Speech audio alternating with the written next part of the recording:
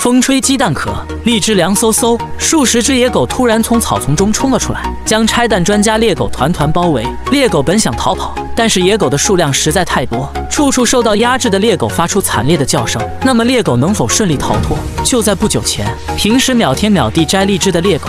不幸遭遇了数只野狗的突袭。曾经的猎狗是双手插都没有对手，此刻的它背靠小树底盘下沉，这是为了防止被三弟摘了荔枝。现在的局势对猎狗来说很不利，要想摆脱野狗的纠缠，猎狗得拼命才行。然而明枪易躲，暗箭难防，野狗数量众多，轮番交替进攻是野狗惯用的战术，你一口我一口，让猎狗防不胜防。它还真有点招架不住了。唯一能做的就是把自家的屁股保护好，毕竟大家都是拆弹专家，二哥不说三弟，所以都知道对方是什么德行。野狗专攻猎狗的下三路，而猎狗只能把屁股紧紧贴在地面上，以免荔枝不翼而飞。在野狗们的围攻下，猎狗不断的躲闪和反击，试图给自己争取一丝逃跑的机会。为什么这两货每次见面都会大打出手呢？作为草原的掏钢手艺狗，同行就是冤家，逐利是天性使然。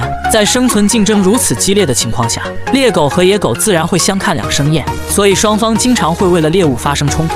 虽然他们都是草原上的顶级猎手，但两狗之间的个体实力悬殊非常大。如果单对单的话，猎狗凭借体型和咬合力等方面的优势，是完全吊打野狗的。所以，凭借强大的实力，猎狗喜欢单兵作战出去浪，而野狗通常都是群体活动，也就让我们经常看到数量占据优势的野狗对战一两只猎狗的情况发生。不过，当一群猎狗和一群野狗相遇时，实力不足的野狗往往会被吓得落荒而逃，不战而败。然而，此刻的猎狗犹如丧家之犬，趴在地上苦苦支撑。伴随着越来越多的野狗朝这边赶来。